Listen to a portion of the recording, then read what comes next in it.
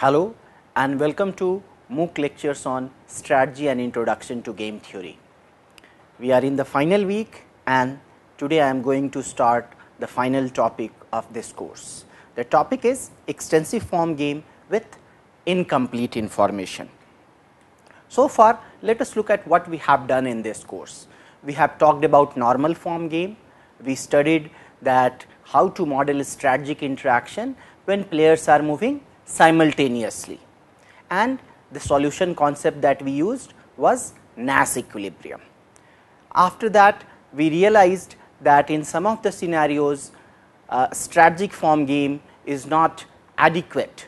So, we also talked about extensive form game and we represented an extensive form game using game tree and then we learned the solution concept first backward induction technique and then the equilibrium that we came to know was subgame perfect equilibrium.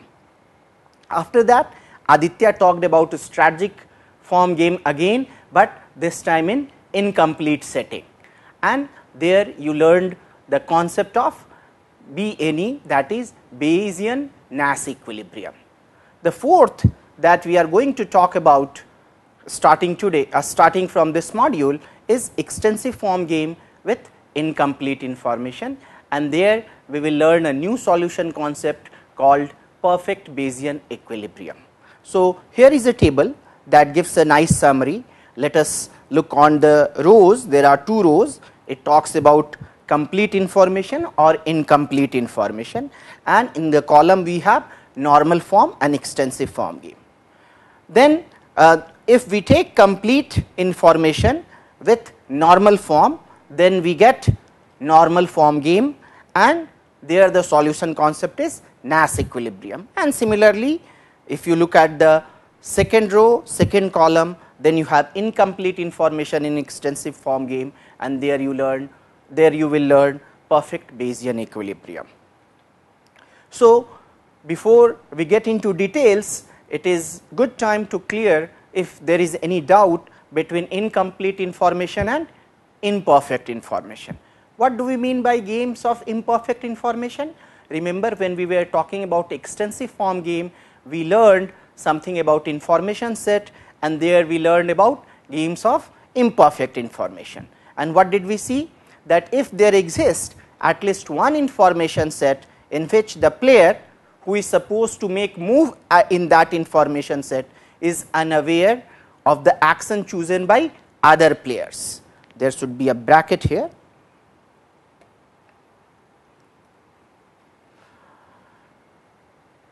However, that player all the players know who the other players are, what are their possible strategies, what are their preferences and what are their payoffs. The only thing they are not aware of is that the actual move made by the player. They do not observe some of the moves made by other players that comes into the category of games of imperfect information. Just to sum it up that here information about other player in imperfect information case is complete. The only thing that is unknown is that strategic uncertainty that player does not know what action the other player has taken.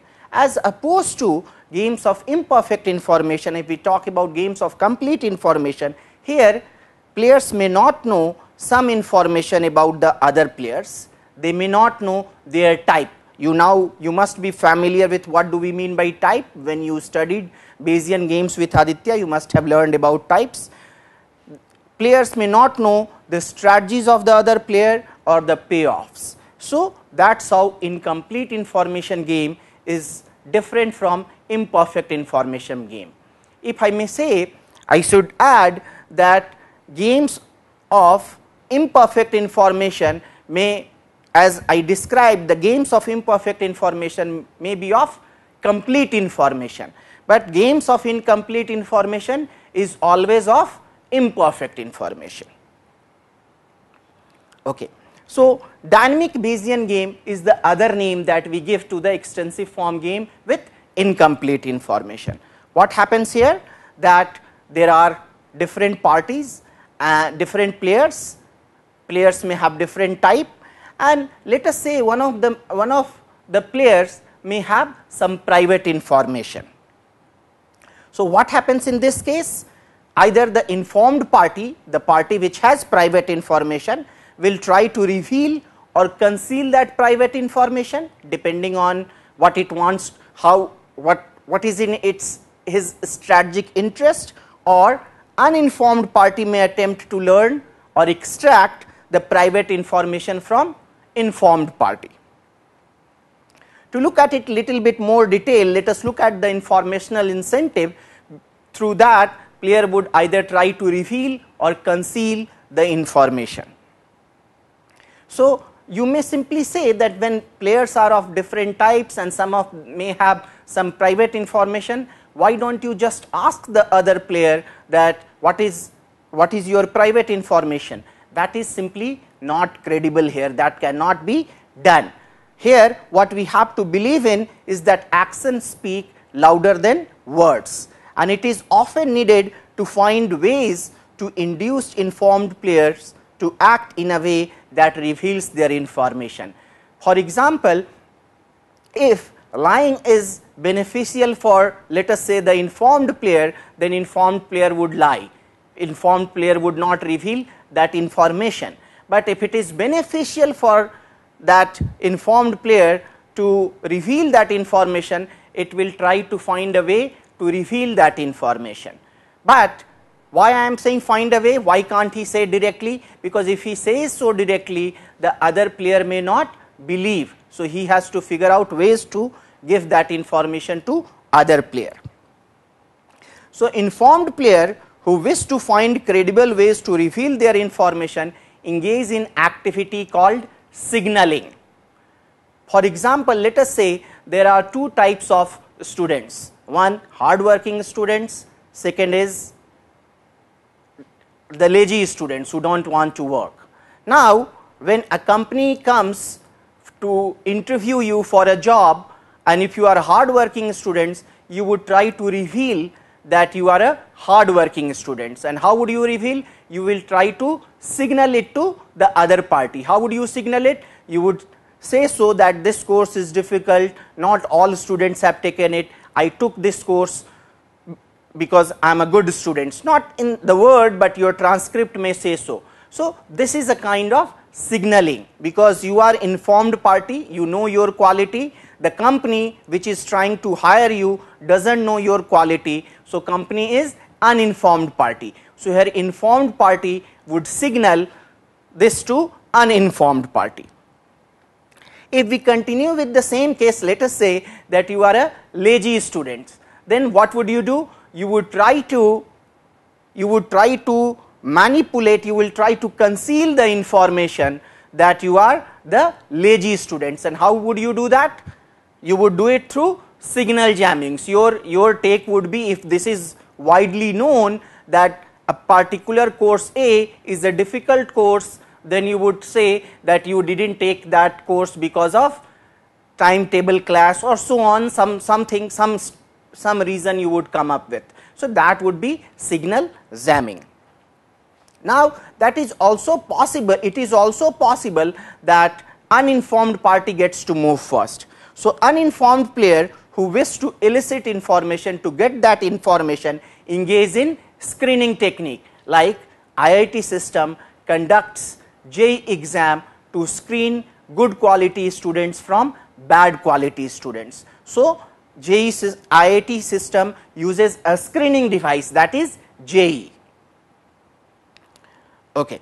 So, little bit more details on signaling, signal jamming and screening. Okay, before we close this module, let us re-emphasize these three concepts that we just learned.